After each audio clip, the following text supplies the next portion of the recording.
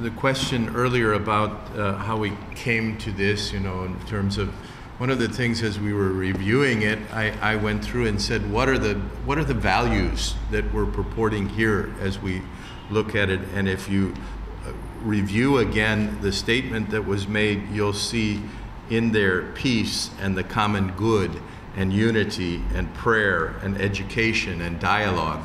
And those are the kind of values that the Council of Churches wants to underline for this process as we move forward to seek really a resolution.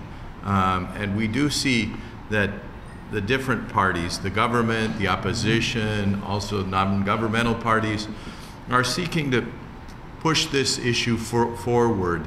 Um, and we're very much in agreement with that as, as long as we do it in this, this way um, that really um, seeks uh, to be respectful um, and hopefully over time to build a, a, relationship, a friendship with our neighbors in Guatemala um, and to come to a, a resolution of this that will help us then to live as good neighbors and and to uh, and really then move forward on many issues that we have in common, um, even uh, the protection of nat- natural areas that we have.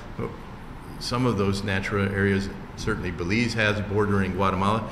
Guatemala has bordering Belize up in the, uh, in the northern part of our territorial area. And I think how we can work together to, to um, preserve that great gift of humanity is, is one way that we can be uh, uh, good neighbors and, and even I've heard that, for example, somebody wanted to have a protest in Melchor.